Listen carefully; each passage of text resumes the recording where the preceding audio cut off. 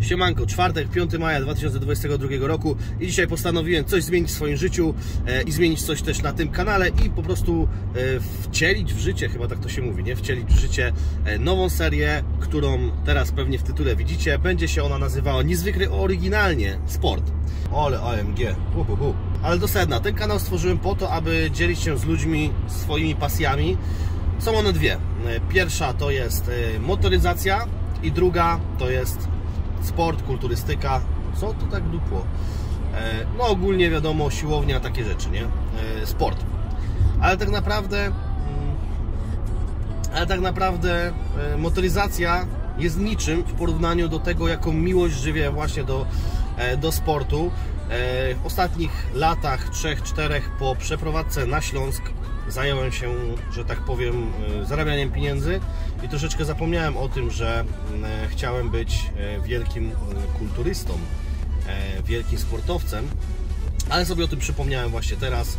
E, Od 6 tygodni już trenuję, czyszczę sobie dietę, że tak powiem, czyli po prostu staram się narzucać coraz bardziej rygorystyczną dietę.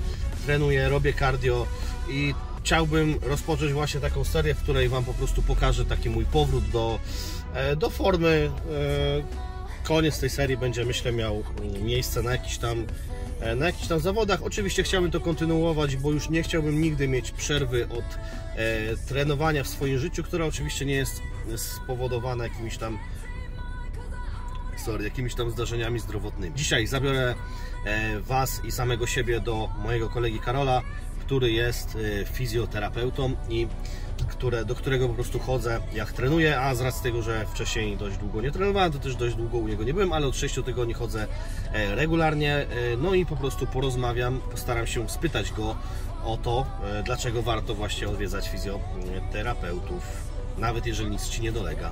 Czy warto właśnie i czy w ogóle, oczywiście, że powie, że warto, jest fizjoterapeutą, więc chce zarabiać siano, ale spytamy, spytam go dokładnie, dlaczego warto.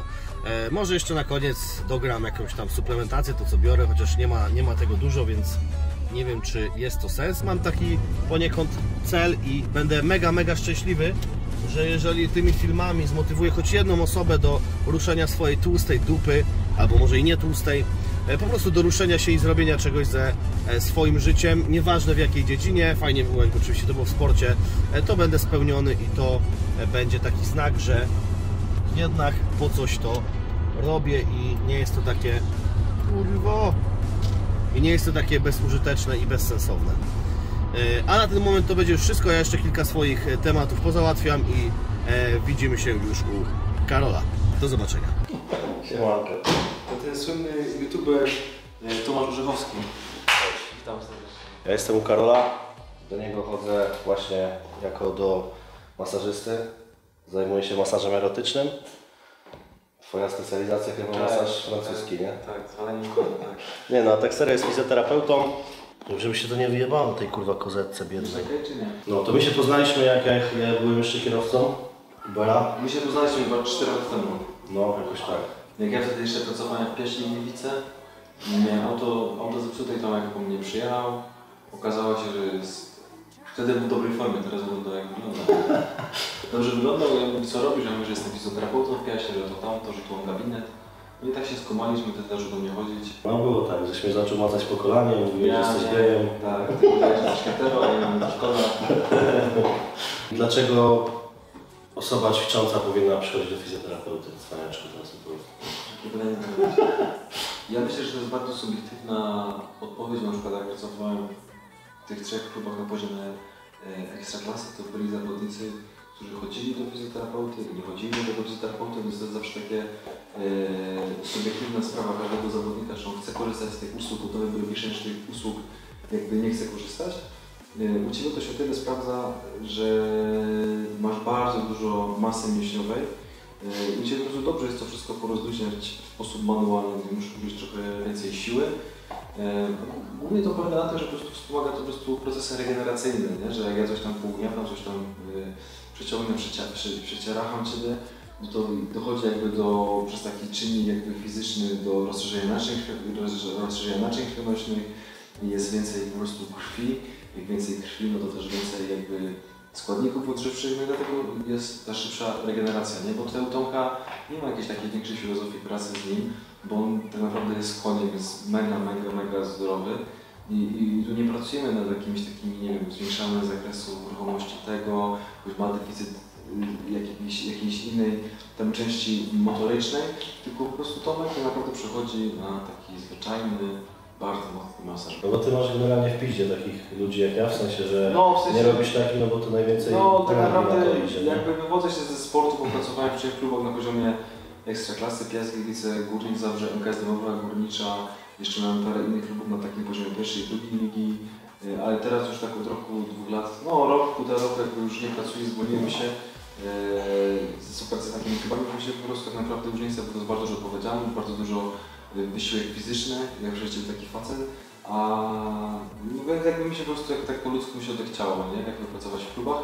I teraz tylko i wyłącznie jakby pracuję z pacjentami tak naprawdę stricte bólowymi w takiej fazie ostrej, czyli pana, bolą mnie plecy, albo pacjenci pooperacyjni.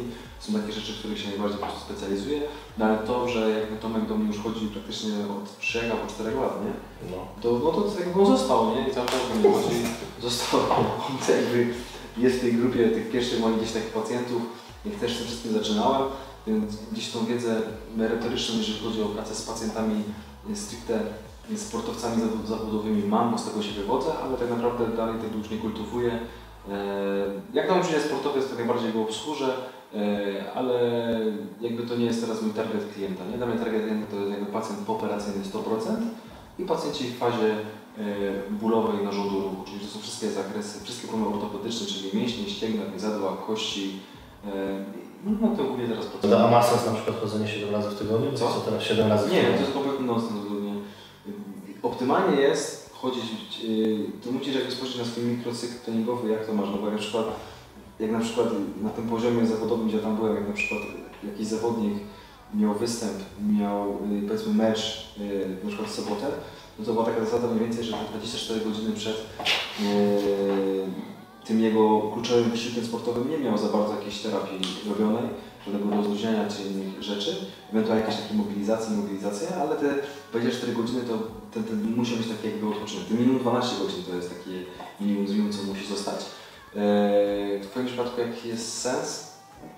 No taki, że po prostu jeżeli do mnie chodził regularnie, raz, dwa razy w tygodniu, tak, to że minimum raz, raz w tygodniu, no to po prostu masz dużo większą regenerację jesteś w stanie zrobić większe obciążenie mikrocyklu treningowym. Ja uważam, że jak jest taki sportowiec y, zawodowy, mieliśmy tak, jak pracowałem w tych klubach y, piłkarskich, no to przychodzili zawodnicy, praktycznie niektórzy dziennie po treningu, dziennie po treningu przychodzi jakieś rozluźnienie, jakieś takie delikatne jakieś tam przemocowanie, rozluźnienie e, tych struktur mm, mięśniowych, czy jakieś inne zabiegi, które na przykład mie- mieli jakieś po prostu deficyty, zawodnicy, co w ogóle na przykład nie chodzili. To ja uważam, że to jest bardzo subiektywna sprawa. Yy, uważam, że to powinno być dopasowane do mikrocyklu treningowego. człowiek sam jest w stanie wyczuć? Człowiek sam jest w stanie wyczuć? Ile razy powinien iść? No tak, bo to głównie jakby subiektywnie polega, bo nie ma jakby takich ram, na przykład na NFZ są takie ramy, nie? że na przykład idziesz na rehabilitację 10 tego, 10 tego, 10 tego, a to jest 10 dlatego, bo ktoś kiedyś tak wymyślił, ale to nie jest w ogóle brane na podstawie jakichś aktualnych badań naukowych, że na przykład 10 jednostek tego w tym przypadku jest dobre, dlatego bez sensu są jak są takie zabiegi, że 10 razy to i będzie super. Nie, nie, to jest tak jakby trochę yy, kłamanie ludzi, zawsze to jest po prostu subiektywnie postrzegane. Jak mam różnych pacjentów, sportowców, no to mm, sam z nimi rozmawiam i pytam się subiektywnie, jak się czują na przykład jeden dzień, dwa dni, trzy dni po wizycie, czy czują się lepiej, czy czują się gorzej, jak to wpływa ich na ich mikrocykl treningowy. Jeżeli to wpływa pozytywnie, no to jakby to kontynuujemy, ale też nie idziemy w tym kierunku, żeby e, przebodźcowywać tak naprawdę, nie? No więc jakby to jest, to jest, ja uważam, że to jest bardzo zależne od, od specyfiki tak naprawdę sportu. Wiem, w przypadku sportu wydolnościowych powinno się nie wiem, więcej razy chodzić, czy w przypadku sportu, gdzie używasz głównie mięśnie, w sensie takim siłowym bardziej? Ja Ci powiem tak, miałem taką kiedyś zawodniczkę, yy, która do mnie chodzi, aktualnie do mnie nie chodzi, bo jest chyba no, przychodzi przez okres macierzyństwa, ale miałem taką zawodniczkę, która była w kadrze polskiej biegów długodystansowych i ona specjalizowała się w biegu yy, 12-24 godzin, nie? Że ona 12 godzin. Ile? 12 takie godzin. tak? Ja albo 24 godziny biegła, e, no to motyw był taki, że ona do mnie chodziła regularnie raz w tygodniu. I raz w tygodniu to wystarczało w zupełności, że miała mikrocykl tak ułożony, że miała tam w każdy dzień ileś, w dany dzień miała ileś tam kilometrów miała zrobić, a jak gdzie miała jakby tę regenerację, gdzie tam przypadały to na sobotę albo na piątek, różnie tam było, no to jakby miała, jak miała tą regenerację, miała tą odnowę biologiczną, to tutaj padała do mnie i po prostu gdzieś to, ta regeneracja tutaj miała miejsce, nie? Więc ja uważam, że jak raz w miesiącu, ra- raz na półtora miesiąca, raz na dwa miesiące, nie? Jak najbardziej jest legitne, no bo to jest, to jest bardzo miłe, wiesz o co chodzi, jak sam przecież nie chodzisz regularnie teraz dość, jak się czujesz przed wizytą, a jak się czujesz po wizycie, jak się czujesz przed Zależy jak się postarasz. Zależy jak się postara, jak się chce. nie? To jest chuj, Jak co- jesteś, jak jesteś ósmy, ósmy pacjentem, to się już potem nie? Ja To zmęczony jestem? Ale to, to sam potem czujesz, że jakie masz zaangażowanie podczas treningu, że czujesz, że masz więcej siły, masz, yy, możesz więcej jakby zrobić, nie? Taka natu- naturalna cytrulina, powiedzmy, taki, taka, taka terapia to jest, że masz więcej po prostu tej mocy tym treningu. Dobra, to czyli tak na szybko podsumowując, sam człowiek powinien wiedzieć kiedy i ile razy, sam powinien czuć, ile razy potrzebuje, tak, ale jak jest... Jakby nie, nie jak jestem jest- osobą, ja mówię, ja mam taki sposób podejścia do pacjentów. Ja nie lubię wkręcać pacjentom, klientom, y, że są chorzy. Nie, jak oni się czują dobrze, że czują się rewelacyjnie, ja się cieszę. Ja zawsze mówię, że żeby do mnie, żeby, żebyśmy mnie jak najmniej się widywali, żeby po prostu byli zdrowi. Jak jest problem, to zapraszam, ale jak nie ma problemu, to też na siłę nie ma co chodzić. Ja tak po prostu uważam. Nie? Spoko. No to w sumie co?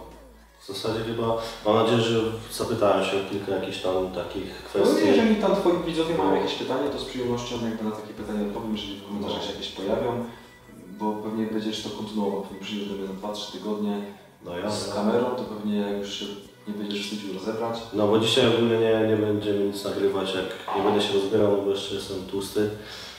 Eee, nie ma to na razie większego sensu, ale za dwa tygodnie już myślę, że nie będę taki tłusty, więc, ale to już w ogóle, bo ja właśnie nie wiem jak ja chcę to zrobić, wiesz? Nie wiem czy ja chcę to, nie wiem, no, nie mam pomysłu jak to nagrywać w ogóle. No wiecie, spontanicznie tak Że zresztą. tak, tak chciałbym robić takie vlogi, takie jakby, no nie wiem jak to nazwać, takie lifestyle'owe, nie wiem, coś takiego. Dobra. Także mam nadzieję, że podobał się mój długi, monotonny wywód. Ale to, to przez Tomka, nie przeze mnie. Co? Eee, jak będą jakieś pytania, jeżeli macie jakieś Państwa pytania, to z przyjemnością te pytania odpowiem w kolejnym filmie. Eee, jakby sam za jakiś czas będę tworzył kanał na YouTube. No Zaraz też jestem dużym youtuberem, to go polecę, także od razu będzie miał Tak, będę nagrywał filmiki z zakresu narządu ruchu. A właśnie, ja bym, wiesz co? A y, ten, ja bym zrobił coś takiego, żebym jeszcze raz do Ciebie przyszedł, nie? I spytał się o takie, kurde, jakby to mówić, o samą pracę fizjoterapeuty, czyli na przykład jak dobre takie ładne kobiety się przychodzą, jak to wygląda i tak dalej. To by było śmieszne może. To było śmieszne, no. Może by tak zrobić kiedy chcesz. Ja to na imprezach tak jest, nie? No i co, przyjdzie jakaś taka dziewczyna się rozbierze, to fajna, nie? nie? Ten, tego, nie? Ale to prawda jest taka, że jak ja mam, nie wiem, 25 kobiet, no 20, no 20-25 kobiet tygodniowo, nie wiem, to jest 100 kobiet w miesiącu powiedzmy, jeżeli chodzi o takie wizyty. Bo mi pacjenci się praktycznie zawsze przeważnie rozbierają do bielizny, gdzie pracujemy na tym całym ciele. Chyba, że ja przychodzę. Chyba, że ty przychodzisz bez, bez, bez, bez, bez przychodzisz.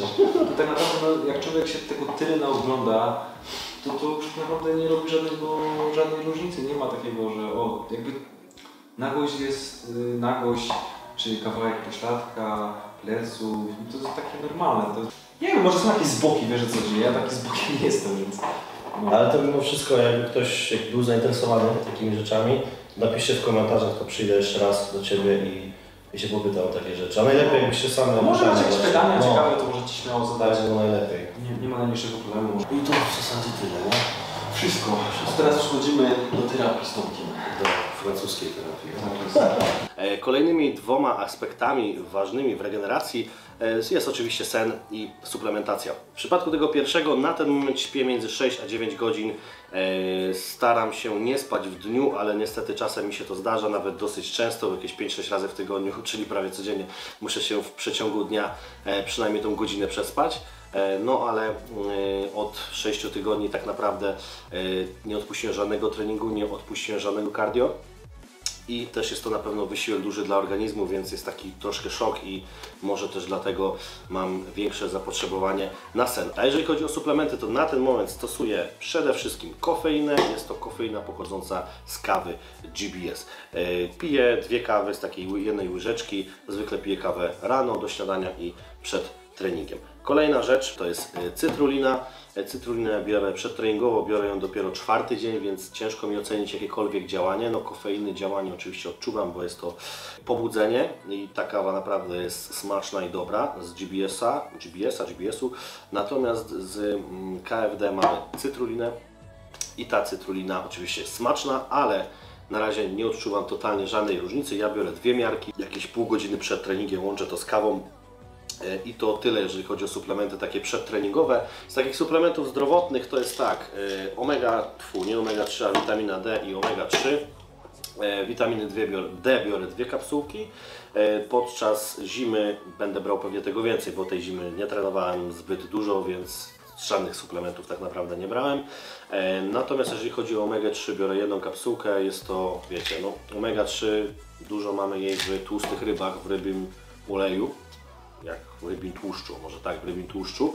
E, Ja jem no, około półtorej, nawet 2 kg łososia tygodniowo, więc myślę, że dużo tej omegi 3 dostarczam e, dla e, swojego organizmu, natomiast jeszcze się wspomagam taką jedną kapsułką rano po śniadaniu. E, Nie biorę dwóch kapsułek, no bo w środku tych kapsułek jest ten olej i jak to mi się w gardle rozpuści, to po prostu chce mi się wymiotować i mam po prostu pół dnia zjebanego przez to, więc, e, więc po prostu staram się jeść więcej łososia, a brać tylko tą jedną kapsułkę i nie mam zamiaru na razie tego zwiększać. Kolejnym suplementem, jaki stosuję, to jest e, Japczan e, kreatyny i to jest drugi suplement, którego odczuwam działanie, ponieważ od kiedy zacząłem stosować kreatynę, dużo lepiej mi się trenuje, dużo mam więcej siły na treningach, energii.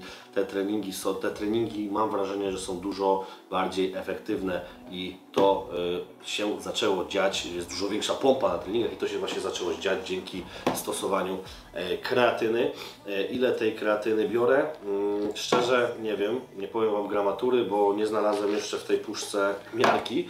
No biorę łyżeczkę, taką czubatą łyżeczkę e, stołową chyba to się nazywa e, na, na dzień. I to w zasadzie tyle jeżeli chodzi o kreatynę. Także kreatyna i kofeina myślę, że to jest taka podstawa, są to suplementy najważniejsze, które odczuwam działanie, może nie najważniejsze, ale takie, które odczuwam działanie, na pewno witaminki też są ważne, pewnie tutaj grono tych witamin będzie rosło, e, może dojdzie jeszcze beta-alanina. I ostatnim suplementem to jest e, białko, mam nadzieję, że będzie je gdzieś widać, o tak sobie zrobimy, cyk, białko e, z KFD też, WPI, e, smak czekoladowy, tylko i wyłącznie taki smak preferuję. I jeżeli chodzi o, o te białko, no to stosuję je tak naprawdę e, jako zamiennik jedzenia, jako zamiennik kurczaka, wiecie, indyka, dorsza, jako zamiennik po prostu białka w diecie. Nie, nie, nie piję tego po treningu czy coś takiego, tylko po prostu nie używam tego do omletów i tak dalej, czyli generalnie traktuję to jako jedzenie. Wiem, że jest to powiem rzecz z kategorii suplementów, dlatego też to tutaj przedstawiłem.